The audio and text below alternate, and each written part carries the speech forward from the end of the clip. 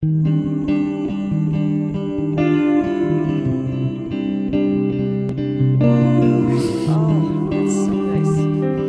Not everybody's going to give you a pat on the back or a hug when you need it.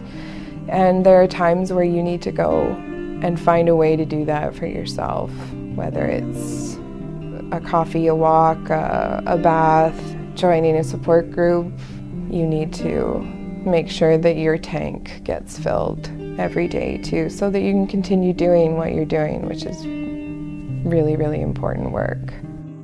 I don't want to be dragged out and tired and on the brink of crying or yelling or wanting to run away. I want to be strong, and I think the way to do that is to honor myself and to, step back for a little while and just be.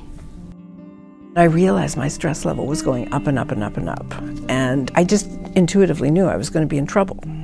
But coming here and finding out what was available and just knowing I had that support got me more into that, gee, I've got to take care of myself, that self love place.